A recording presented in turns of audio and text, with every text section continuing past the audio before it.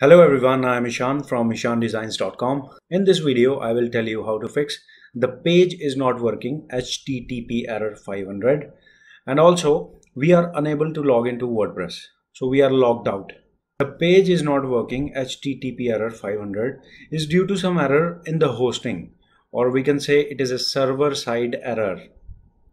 It might occur due to malware or a virus attack on your website. What these hackers do, they made some unwanted additions or changes in the code of your website from backend that may cause errors like this. The page is not working, HTTP error 500. So in order to fix the HTTP error 500, you need to follow simple two steps.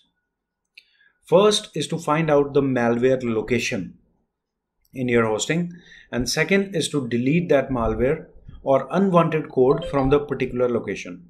So let's start with the first step to find out the malware or virus location. We need to know where exactly the error is present in the code. To find out that, you need to log into cPanel or also we call it control panel. In order to log into cPanel, type in the domain name like my domain yoga.ishandesigns.com forward slash cpanel. Here you need to enter your username and password of cpanel.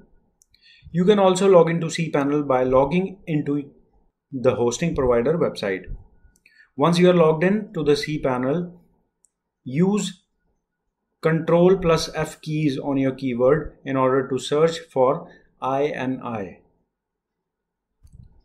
Here you see the link multi PHP INI editor. Click on it. Under settings, select a location. Here you need to select the domain where you are getting the error HTTP 500. So here I choose my domain where I'm getting the error. Once you select it, you find display underscore errors option. Here you see this option is disabled. You need to enable it. So I'm enabling it and then click on apply option on the left bottom of the page. When you click on apply, you see the notification successfully applied the settings. Now go back to the website where you are getting the HTTP error 500 and refresh the page. Now you will see the exact error. It is a parse error, syntax error and this is the location of the file. It is in line 52 of functions.php file which is present under wp hyphen include folder. The attacker has made some changes in the code in this functions.php file. So guys, we have found the location of the file. Now let's move to the second step. Remove the malware from that location. In order to make changes in the functions.php file, you need to go to cPanel again. Click on the cPanel option present at the left top and now click on File Manager. Follow this path which is mentioned here. It might be different for you. For me, it is yoga.ishandesigns.com wp hyphen includes and then functions.php. I am searching for the folder yoga.ishandesigns.com. Here you see many folders because I am using the hosting plan for multiple domains. These all are my domains and subdomains. If you have only one domain linked with your hosting, then the path would be different like public underscore HTML folder, then wp hyphen include, and then functions.php. You simply have to follow the path of the file location. So let me search for the folder yoga.ishandesigns.com. I click on it. Now search for wp hyphen includes and click on it. Now I scroll down and look for functions.php. So this is the file where some code is added or changed. Right click on it and click on edit. Now we need to look for line number 52 of the code as per the error. You see this red cross mark. This shows the error. You guys might not know the coding. No need to worry. I want to tell you a very important thing that there is a syntax when you write some code. In PHP, the code always starts with bracket, question mark, and then PHP. But here at the beginning of the file, the code starts with something like at ini underscore set.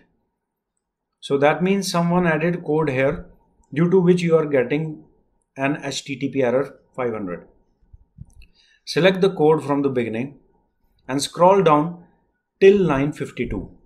Carefully select the code till this point that is before this bracket question mark PHP and delete it.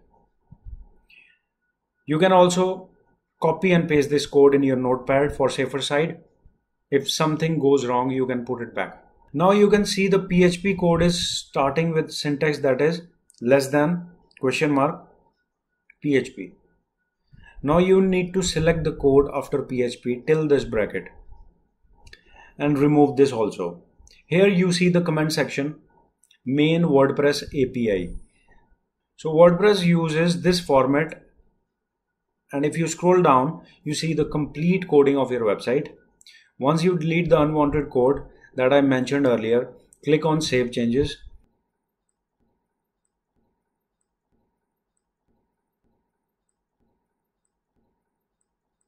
Go back to the website and refresh the page.